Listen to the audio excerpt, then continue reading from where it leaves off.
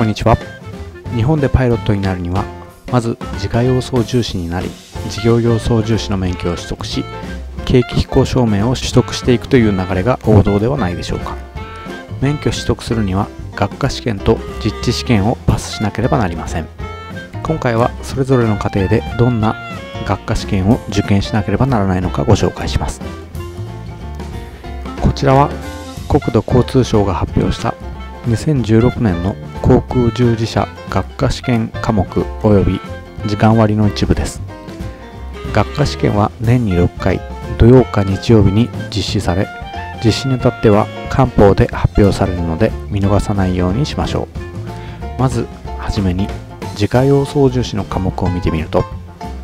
この表の一番下の赤色の線を引いたところが自家用操縦士の飛行機回転翼航空機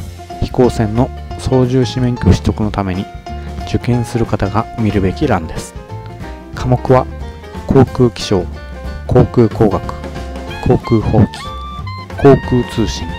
空中広報の5教科です。それぞれ40分から1時間と科目によって受験所要時間が変わってきます。次に青色で色付けした事業用操縦士の欄を見てみても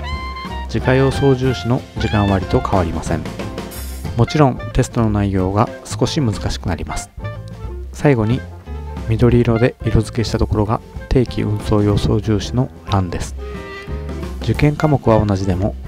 受験科目の順番が違ったりそれぞれの科目の時間が違うことが分かります。この他に学科試験免除のシステムなどもありますが基本的にはこれら5教科全てパスしなければなりません。次回以降筆記試験の過去問が国土交通省のホームページに記載されているのでそれぞれどんな問題が出ているのか一緒に勉強していければいいなと思っております。